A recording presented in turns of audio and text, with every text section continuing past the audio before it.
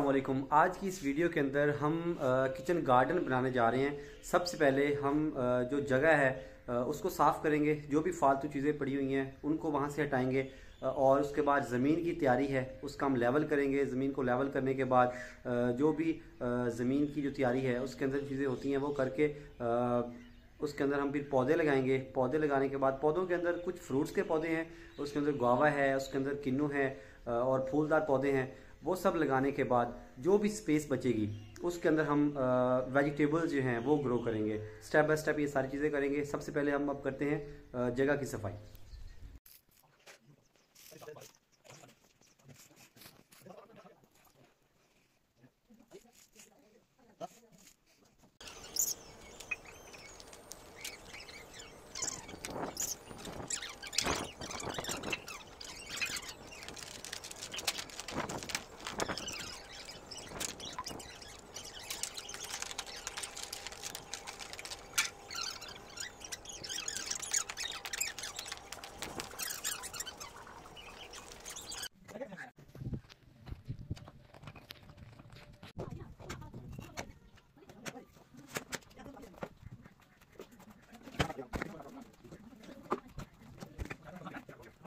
ハハハハ!